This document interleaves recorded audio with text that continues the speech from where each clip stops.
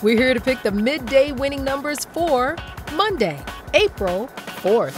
Here are today's winning Pick 3 numbers. First up is an 8, another 8, and finally a 3. So today's midday Pick 3 numbers are 8, 8, 3. And now, the winning Pick 4 numbers.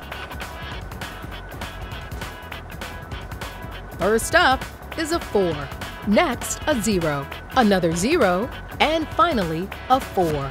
So today's midday pick 4 numbers are 4, 0, 0, 4. Now, the winning pick 5 numbers. First up is a 6, another number 6. Next, a 4. Next, an 8. And finally, a 6.